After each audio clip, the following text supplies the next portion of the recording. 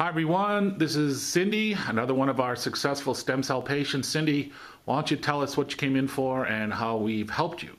Well, I haven't been able to really lift my left leg at all, or I had trouble putting my shoes on and getting dressed. I couldn't lift that left leg, and I couldn't cross it at all to lift it up. And you had a lot of pain on the side of it, right? Wasn't it the pain too? Yeah, a lot of pain, pretty much from Right. my. I'm not putting waist- words in your yeah, mouth, I'm Pretty just- much from my waist down on both, on, in the front and the back on the left side.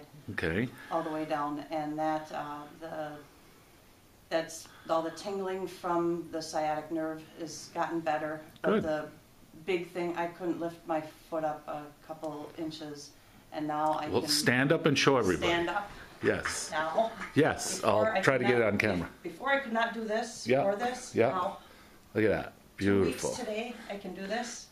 Yes. Can do that. Nice. Have a seat. yes, beautiful. And you had the intrathecal. I'm driving people nuts with my camera work because I shake and it's all over the place. But the bottom line is, what else? You mentioned something about your ears.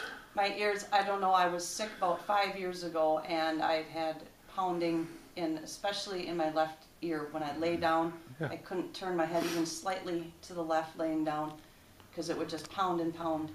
And it's been like that for five years. I haven't been able to turn my head laying down like that.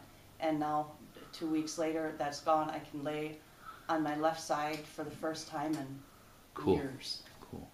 So there are things you can do that you haven't been able to do before, obviously. Oh yeah, absolutely. And this is just, it's two weeks today. I know. Just And you had intrathecal, crosses the blood-brain barrier. We use it a lot with neurological conditions and chronic pain conditions, Parkinson's, stroke rehab, um, MS, and chronic pain, fibromyalgia.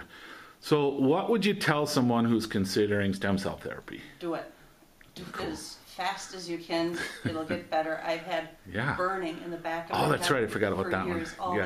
that just burns all the time, and all these like I call them hot spots where Right. they just and flare up all the time, and that's gotten better. And then the intrathecal, was it painful? A lot of people think it's like a spinal tap. It's not a spinal tap. It's, I've had a spinal tap oh, okay. So there's. when I was younger, so Yeah. I totally freaked out about it. I Yeah. mean, but it didn't want to do it, but I knew it would help me, so I Right. freaked out because I had the spinal tap. Yeah. It's not at all like the spinal tap. Um, it was a little uncomfortable. Right. I mean, it was only for the 30 seconds that Yeah. it takes to Yeah. inject. It Yeah. wasn't Yep. anything, anything like, All right. Yeah. yeah. Cool. So, Thank. Feel Thank much you. better. Great.